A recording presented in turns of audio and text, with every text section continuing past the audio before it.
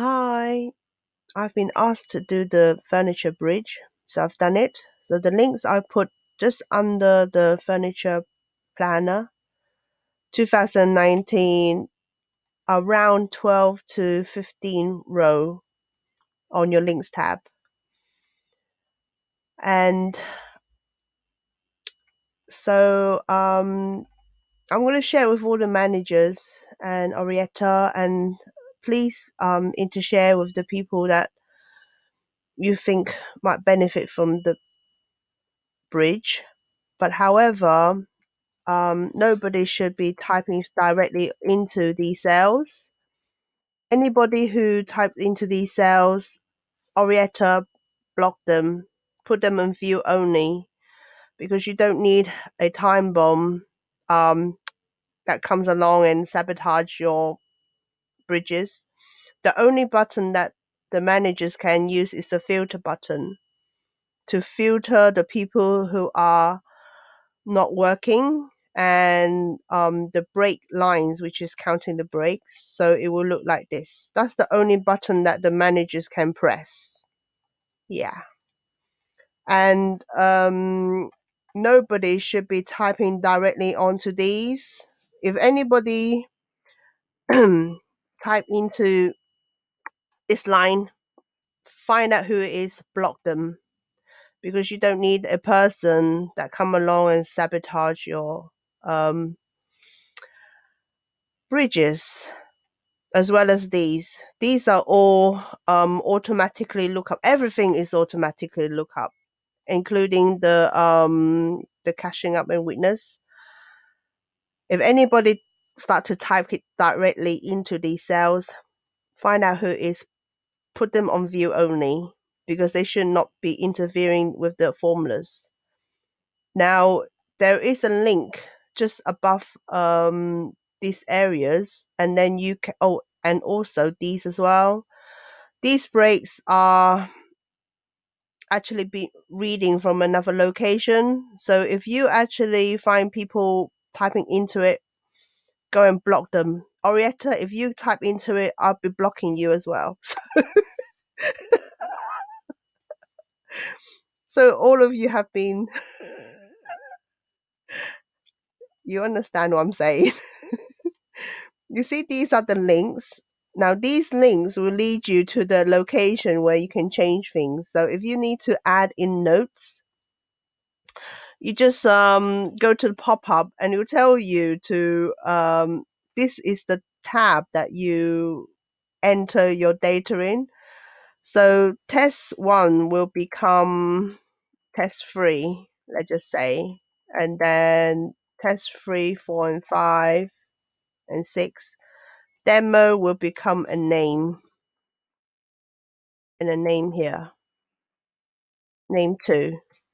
And we, if we go back to Sunday, it has changed, you see. And then the people who are absent, training, um, and holiday. So let's just say coach one is on holiday, hol. And then you can see coach one, make it a bit bigger for you to see. Coach one is on holiday. Coach two is on loo Coach two is on leave. Coach three is absence. Coach three is absence. So training will be the word training. So let's just say fitted. Um, fitted is under training or train. Uh, where is it? Here. Fitted five is under training. Yeah. So um, it's actually automated. So don't don't type into it. And here is the same. So you you um click onto the link and press here and it will take you to a break page. Whatever um, break slots you want, enter into this location and all the tabs will pick it up depending on the opening hours. That that goes the same with um the other spreadsheets. All the other spreadsheet will pick up from week one Okay, so I'm in week two at the moment. So let's just say I want to change some notes in here. Okay, click onto here and then week one will be opened up. And then you can actually change the notes in week one. See here? So week one is actually controlling everything. So that's why I'm saying don't don't start typing over everything because you are just ruining ruining the formulas. Yeah. Um so the cashier and the witness you could um input their names on here and it would um add up how many times this person have been a cashier. See? The name appear twice. Let's just do um a a generic name. So this let's just pretend this is a person. So this person appear once. This person appear twice. This person appear three times. And it's actually um, looking at it on a 28 day period.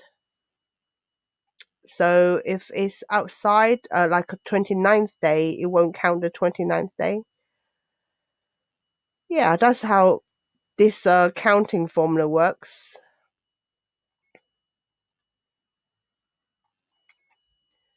So once you started to use the week one, week two, week three, week four file, go back to your furniture spreadsheet and delete the break tab, delete the bridge tab, and go and delete the furniture tab because the less you have on a spreadsheet, the more efficient it will become but I'm not going to delete it for you because I don't know when you're going to start using this spreadsheet.